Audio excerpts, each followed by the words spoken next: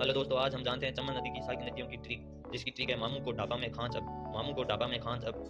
मामू को ढाबा में खांच अब मा, मासी नदी मोरे नदी मोरे नदी सारी खुदा नदी मादी नदी कोंको नदी राम नदी बाम नदी और रेडो मैं नदी और एक कामकारी नदी हरी सरकारी हो और सैंडो फुल नदी और बॉर्डर बेड़च बेड़च की सारी नदी गंभीर नदी ठीक है एक बात ये दोस्तों मामू को ढाबा में खांच